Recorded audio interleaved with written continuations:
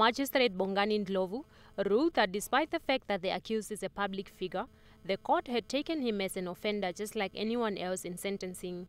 During mitigation of sentence, Likoro's lawyer asked the court to give him a wholly suspended sentence of four years imprisonment because he is a family man who is also a sole breadwinner. In his ruling, Ndlovu argued that the defense struggled to find substantial and compelling circumstances. In addition, Ndlovu says there were no reasons presented why the court should depart from the mandatory sentence of 10 years. The magistrate further argued that despite the humiliation suffered by Likoro's family resulting from the case, the victim and her family have been equally affected.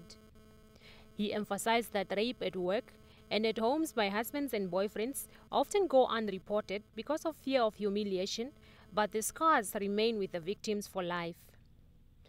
Earlier, State Prosecutor Yatiel Mudamburi asked the court to give Likoro 13 years imprisonment because it would fit the crime that he committed.